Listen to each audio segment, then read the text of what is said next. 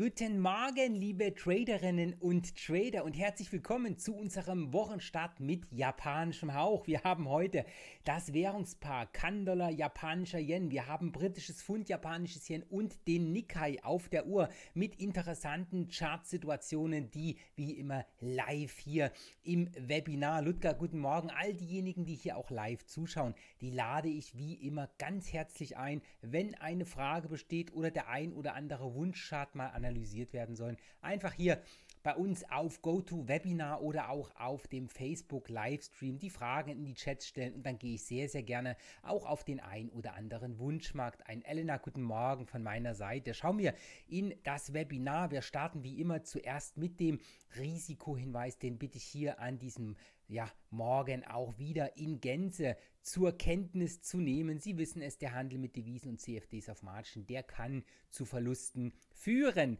Was gibt es auf Seiten der Nachrichten für den heutigen Tag?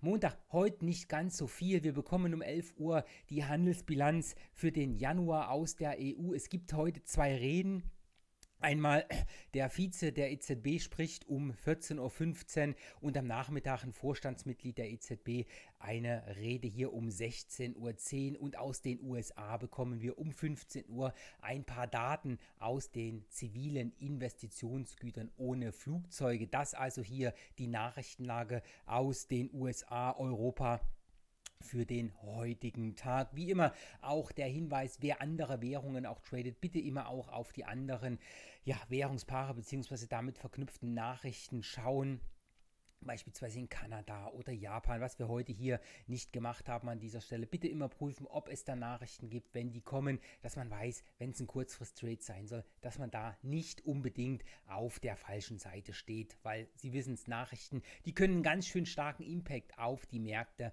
haben und damit rein in die Charts für den heutigen Morgen. Wir starten hier mit der Währung kanadischer Dollar, japanischer Yen. Hier im Laufenden aktuell. Wir sehen es hier oben.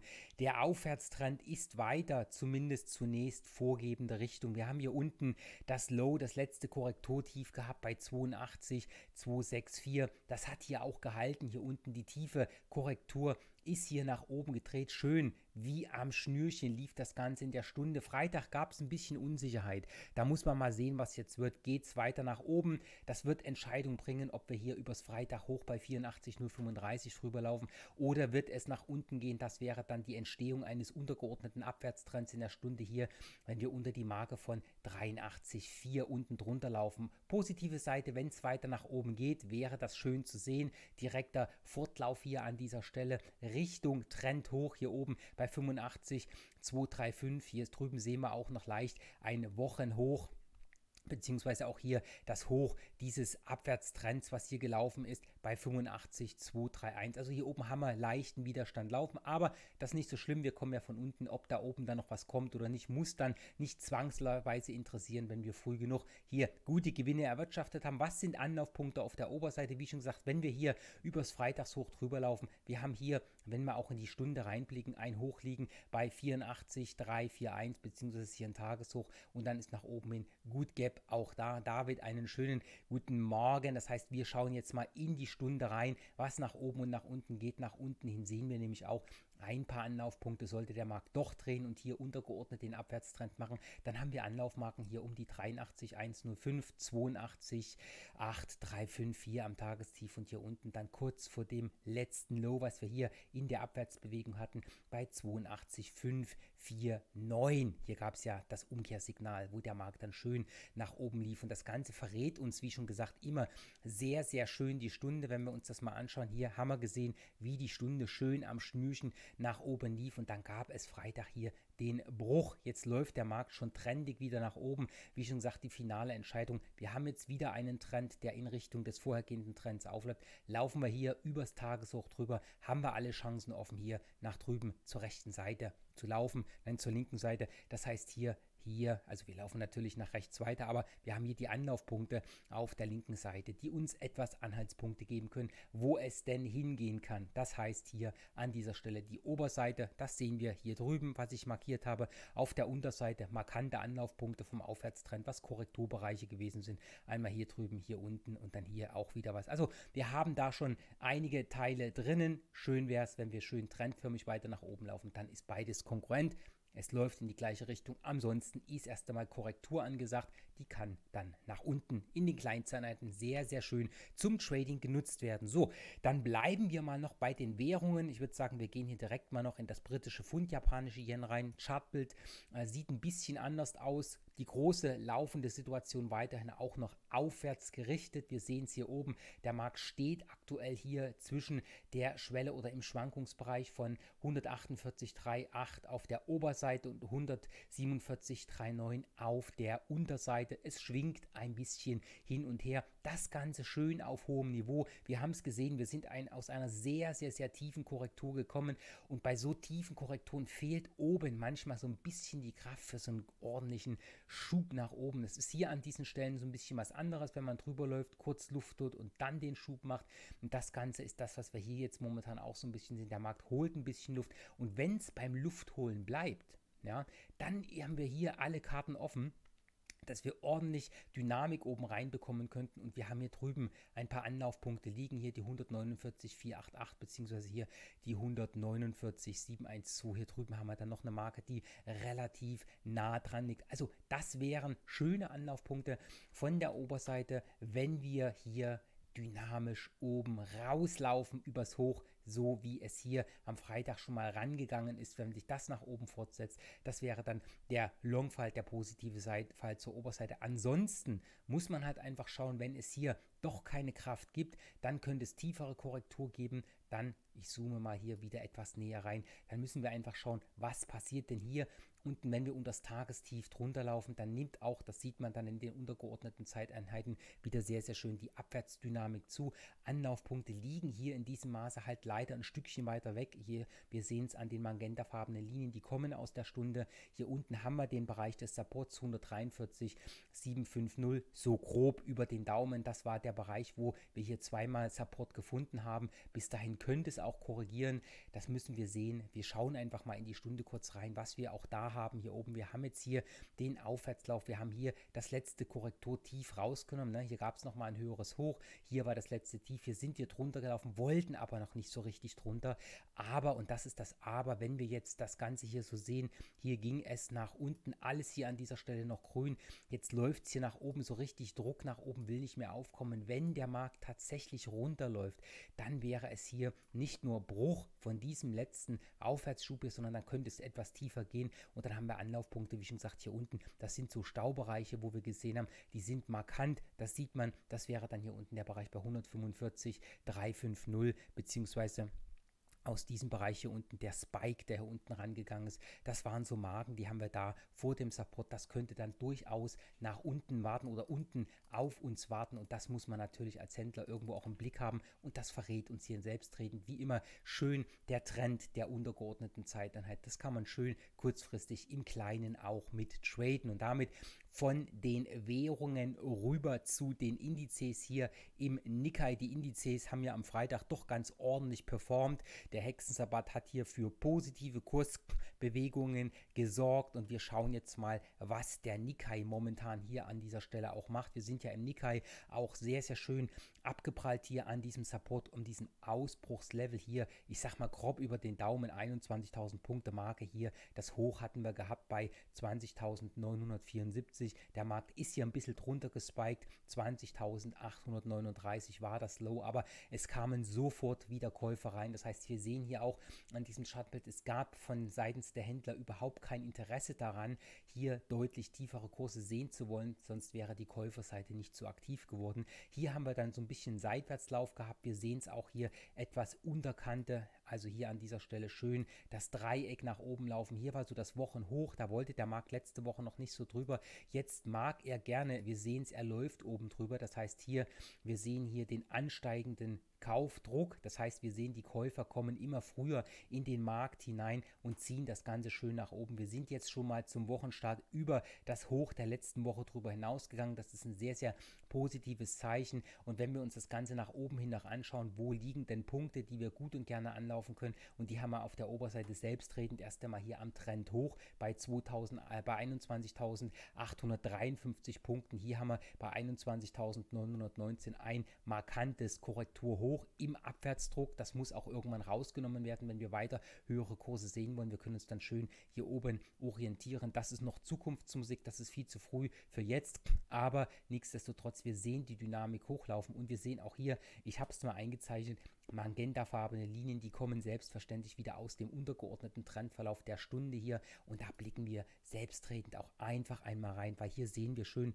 diesen Lauf nach oben hier, eine sehr, sehr tiefe Korrektur und hier sehen wir etwas, das nenne ich als Trader Korrektur, nein, eine Korrektur in Kontraktionsmuster. Das heißt, der Markt beginnt ähm, zu korrigieren die Korrekturen werden aber immer flacher. Das heißt, sehr, sehr häufig bereitet der Markt hier sein Ausbruchsverhalten vor. Und das ist auch genau das, was wir jetzt sehen. Der Markt hat hier in der Stunde, sehen wir das schön, diese immer enger werdenden Kontraktionen gesehen und dann hier Irgendwann schnappt es drüber. Jetzt sind wir schon mal hochgespiked hier in den Bereich rein, der im Abwärtstrend, den wir hier in der Stunde auch schön sehen können, ein Anlaufpunkt war. Der nächste wäre dann hier oben um die Marke von 21.824 Punkten, also ganz kurz vorm aktuellen Trend hoch. Wenn es hier weiterläuft, das kann man schön nutzen, um aus den kleineren Kontraktionen bzw. Trendverläufen hoch zu laufen. Wir haben jetzt hier an dieser Stelle, wo diese Kerze ist, schon mal das aktuelle Tageshoch und wir wissen ja, was passiert am Tageshoch, wenn wenn sich Käufer hier finden, dann ist die, die Wahrscheinlichkeit gut, dass wir weiter nach oben laufen. Im kurzfristigen Trading kommt es hier wieder zum Abverkauf. Gut, da muss man erstmal sehen, wie es nach unten geht. Aber wir haben hier auf alle Fälle, so wie wir es im Webinar am Freitag auch gesehen haben, ein Tageshoch liegen, das eine gewisse Relevanz auch hat. Ich bin gespannt, was hier passiert. Man kann es auf alle Fälle hier im Kurzfristbereich auf der Liste mit haben. So, schaue ich mal in Fragen rein. Erich, Theo, einen schönen guten Morgen. Ähm, eine Bemerkung zu US-Dollar SEK. Theo, kriegen wir hin, gucken wir gleich mal rein. Das mache ich sehr, sehr gerne an dieser Stelle auch. Mit dem japanischen Yen bzw. mit dem Nikkei bin ich jetzt auch fertig. Das heißt, die Währungen sind durch. Wir schauen jetzt mal auf US-Dollar schwedische Krone ist halt auch immer sehr, sehr interessant, äh, Fragen zu beantworten. Wir sehen hier, wenn wir uns den Tageschart mal angucken, gut, jetzt liegen hier ein paar Listen, ein paar Linien drinnen, die sind nicht so schick, aber wartet mal, wir machen mal einen sauberen Chart auf, da können wir das hier, neuer Chart, zack, so, jetzt haben wir es sauber. Und da sehen wir jetzt hier, was sehen wir?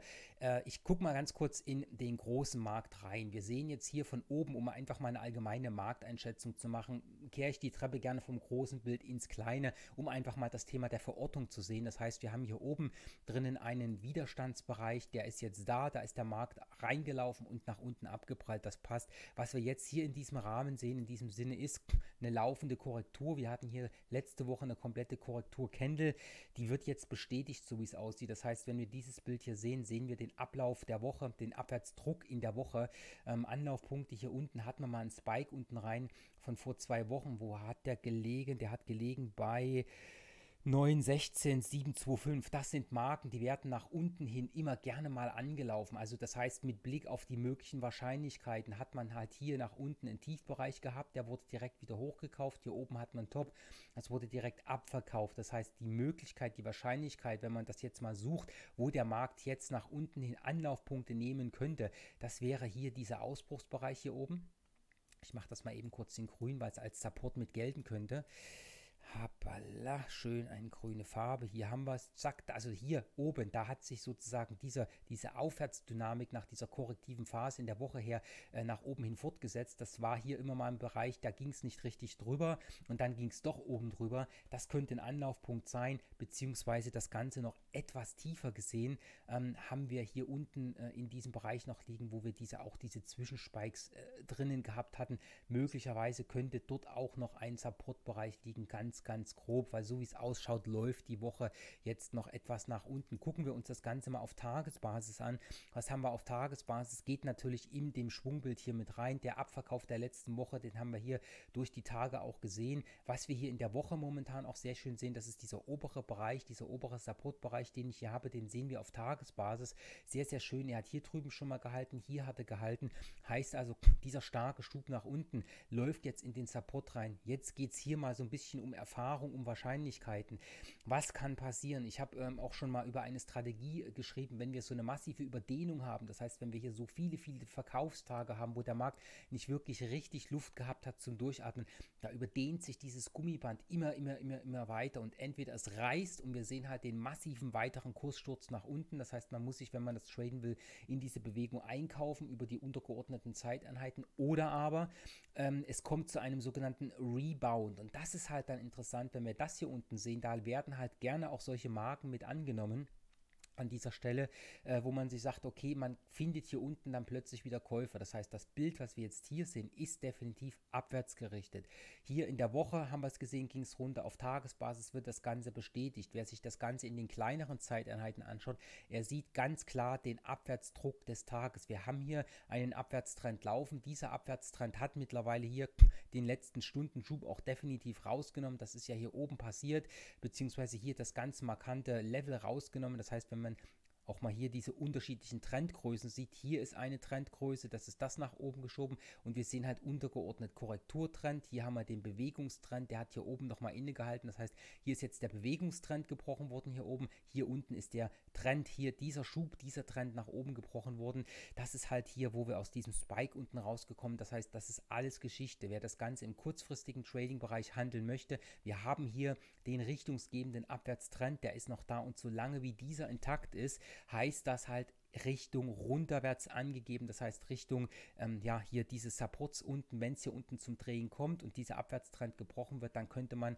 in den Rebound reingehen aus meiner Sicht. Das würde da in dem Augenblick auch Sinn machen, wenn man diese starke Überdehnung ein Stück weit nach oben traden möchte. Man muss halt einfach wissen, wie man dann tradet, was man tradet, dass das, was man tradet, wenn es dann nach oben schnäpst, schon wieder in Richtung der Aufwärtsdynamik hier sehen kann, die wir hier gesehen haben, beziehungsweise wenn man sich das Ganze auch mal im größeren Bild anschaut, oder anschauen mag, dann haben wir ja hier äh, seit geraumer Zeit schon eine gewisse Aufwärtsdynamik da. Wir haben hier einen Aufwärtstrend entsprechend im Markt laufen, hier auf Tagesbasis, der schon schön nach oben schiebt. Ähm, und wenn wir dann hier an dieser Schwelle wieder nach oben drehen, dann wäre es auch gut und gerne möglich, dass wir aus der Korrektur jetzt raus die nächste Bewegung nach oben hin sehen. Das ist halt dann das Interessante, der interessante Bereich, der hier an dieser Stelle bleibt. Man hat auch hier verschiedene Trendgrößen, hier diese Swings, Bewegung, Korrektur, Bewegung, das hier ist immer ein bisschen tricky einzuschätzen. In meinen Augen ist das einfach Inside Bar, was hier gelaufen ist. Das heißt, der Schub ging schon bis hier oben hin. Hier unten haben wir Korrekturlevel. Wie schon gesagt, diese Marke hat eine gewisse technische Relevanz. Das heißt, was wir jetzt hier sehen, ist Korrektur von diesem Bereich, was hier letztens hochgekommen ist. Also von der Seite her, wenn wir es schaffen, rumzudrehen, dann haben wir die Chancen hier auch die Tageshochs oben anzulaufen, die hier im Vorfeld gelaufen ist, kommt hier die, die Schwäche massiv rein, bricht auch unter dieses Niveau, dann eher unten rein, aber latent immer vorhanden, dieses dieses starke, starke Lauf wird womöglich irgendwann korrigiert. Das heißt, es ist schon weit im Progress. Das heißt, wenn irgendwann eine Umkehr kommt, der Rebound sollte auf alle Fälle möglich zum Traden sein. Gut, alles klar, dann hoffe ich, dass ich hier einfach mal einen Blick hineingenommen habe in die, den Chart rein aus technischer Sicht, Theo. Ich hoffe, das passt soweit. Äh, Timo, guten Morgen meinerseits und allen hier. Danke für die Zeit wieder am heutigen Montag. Allen gute Trades und wir hören, lesen und sehen morgen früh wieder allesamt hier an gleicher Stelle zusammen. Der Blog spätestens um 8 Uhr und das Live-Webinar mit Ihren Fragen, wenn Sie mögen, gerne auch wieder um 8.30 Uhr. An dieser Stelle danke und bis morgen. Tschüss.